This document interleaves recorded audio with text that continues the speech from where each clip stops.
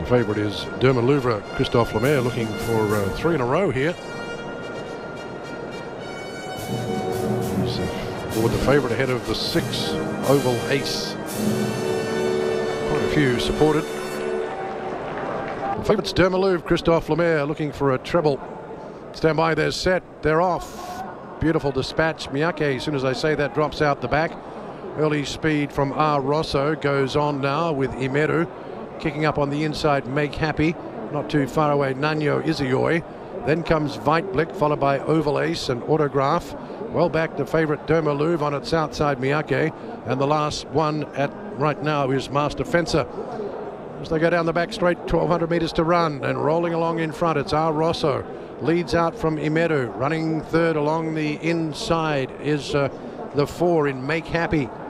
On its outside, starting to go on Weitblick, then Nanyo Izayoi. Jockey looking over the shoulder there. Seems to be having a bit of trouble with Oval Ace as he's looking at Miyake hounding him. He starts to go on, uh, driving, uh, in fact, dropping back there, the favourite, Derma Louvre. Autograph along the fence just ahead. And still, last of all, is Master Fencer. Quite sure what the jockey Ebina was looking at there with uh, Miyake on its outside, but they've come to the 600 metre park. And R. Rosso leads at the moment, leads out from Imeru. Weitblick is three wide, four wide is Oval Ace.